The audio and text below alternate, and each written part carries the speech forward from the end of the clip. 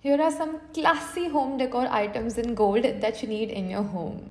Well, the first one is this pomegranate, which will look super cute on your vanity. Then this tiny mango is perfect for putting your rings in it by your bedside. These gold coasters will just add a charm to your dining table while of course solving its purpose really well.